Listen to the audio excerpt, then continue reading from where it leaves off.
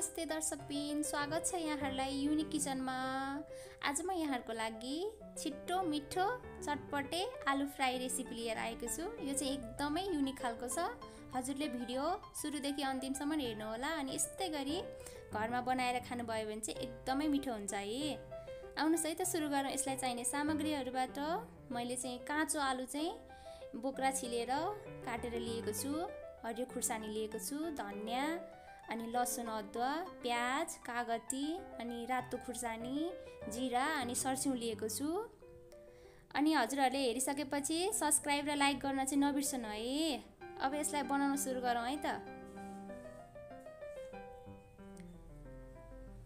हेर्नुहोस् त मैले प्यान बसालेर तताइसकेको छु। अब यसमा हामी सर्स्यौँ र जिरा अनि खुर्सानी राखेर भुट्छौँ यसलाई।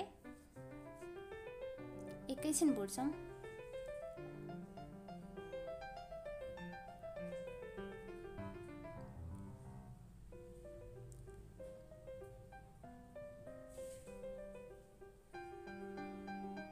भइसकेको छ हेर्नुहोस् त।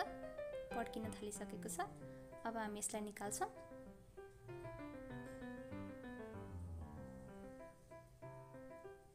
ल हेर्नु त निकालिसकेछु। अब हामी यसमा आलु फ्राई गर्छौँ। तेल राखेँ मैले आलु फ्राई गर्नुको लागि। त्यो चाहिँ हजुरहरूले नजुकिन होला है। काँचो आलु हो है यो चाहिँ उसिनेको आलु होइन है। यसमा हामी अब आलु नपाकिन्जेलसम्म फ्राई गर्छौँ यसलाई। रातो हुने गरी।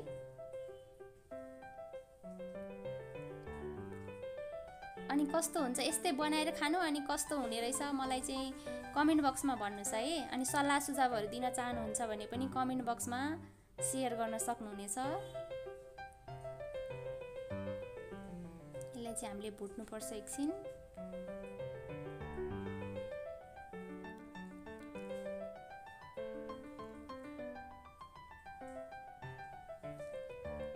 अब हाम्रो यो आलु पाक्दै गर्छ हामी उता सर्स्यौँ र जिरा खुर्सानी पिनौँ है।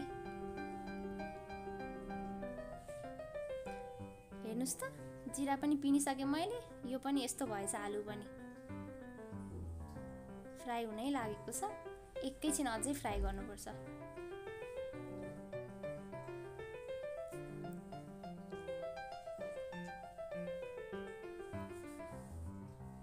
अझै भएको छैन। एकैछिन फ्राई गरौँ यसलाई।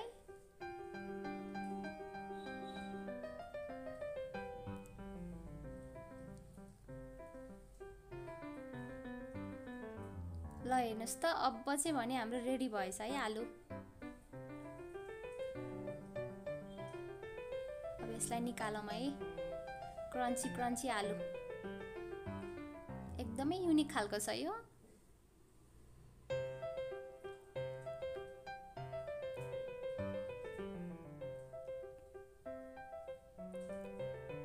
हामी यही भाँडोमा हामी प्याज फ्राई गर्छौँ।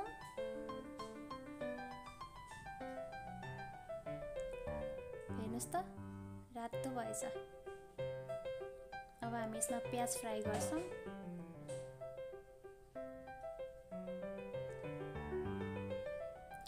यसलाई अब रातो नहुन्जेलसम्म भुट्छौँ। यसमा अघिको अदुवा लसुन पनि राखिदिउँ है।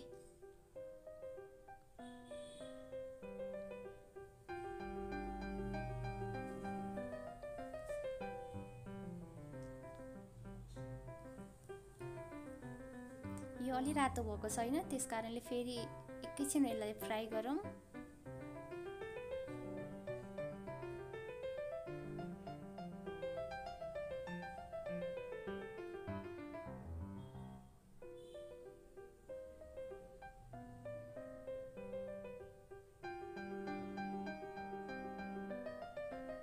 हेर्नुहोस् त फ्राई भइसकेको छ।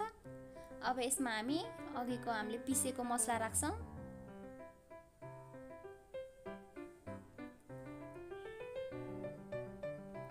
खोर्सानी जिरा अनि थोरै सर्छौँ यसमा हामी मसला त हामीले राखिसकेका छौँ बेसार र नुन राख्छौँ। स्वादअनुसार नुन।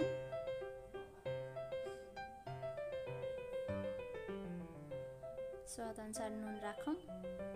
यसलाई एकचोटि चलाइदिउँ है अब। अनि यसमा हाम्रो अघिको आलु पनि राखिदिउँ।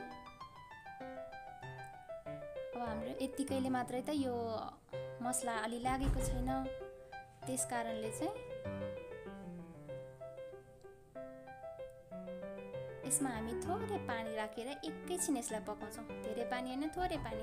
मसला लाग्ने मात्रै पानी राखौँ है।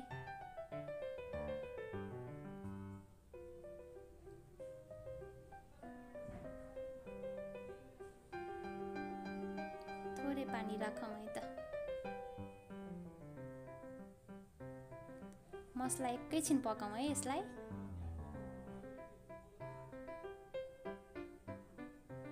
हेर्नुहोस् त पाकेर हाम्रो यस्तो भयो। यो चाहिँ हाम्रो रेडी भइसकेको छ।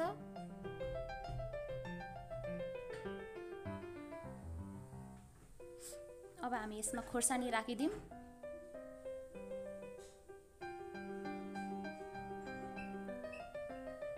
खोर्सानी राखिदिउँ।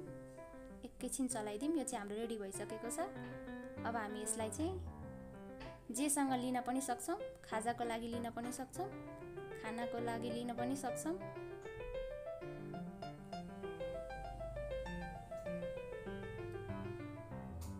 यसलाई हामी निकालौँ है त।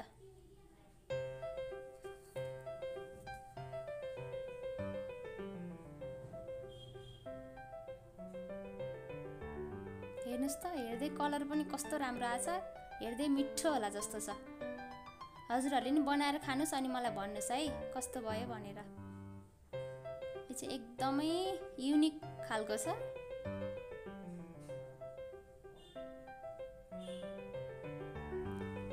सबै निकालौँ है यो। हेर्नुहोस् त यस्तो भएछ। अब हामी यसमा चाहिँ धनियाँ राख्छौँ काटेर राखेको माथिबाट।